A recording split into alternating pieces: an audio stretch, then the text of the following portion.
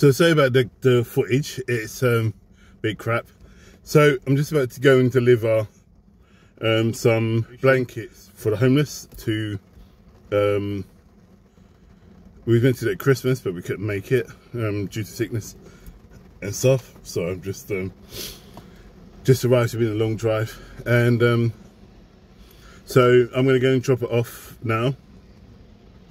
And I'll see you when I get back.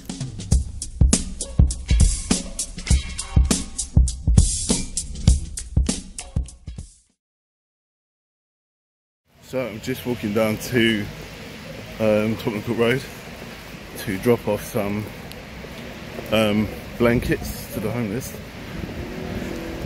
Um, it's Saturday night and uh, as you can see, meaning this is Cheaton Street. There, except what about nine, I think I believe it is for to give up. So I'll let you know it goes just up on the right to your tent. So I'm going to go speak to them, see if they want some blankets. All done. 10 blankets distributed. Now heading home. Hang on. This is in my street, don't I? Before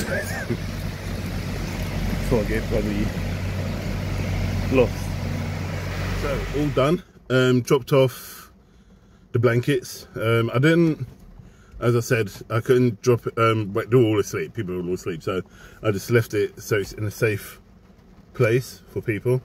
Um, so when they get up in the morning, hopefully they'll see it, and so no one will hopefully take it um, but it's, it's going to hopefully keep them um, warm in this cold weather, especially now, but it's raining. Um, and I feel like being someone who's been homeless before, um, this is key, and I'm going to try myself out of Car Karnak's, um, maybe every six months, every year, um, donate physically blankets or food or something like that on behalf of Karnak's to um, the homeless because it's this that's a, a passionate um, a key thing for me. Um, knowing I've been on that, end of the story that end of the story the end of the situation and um, it's it's a, it's an important um, topic to review and look at. So um, yeah it's I'm heading back so I won't be able to see much because it's still bloody dark outside. Must have been exactly. Pitch black Oh, I'm so tired. It's now 12.30 um, a.m.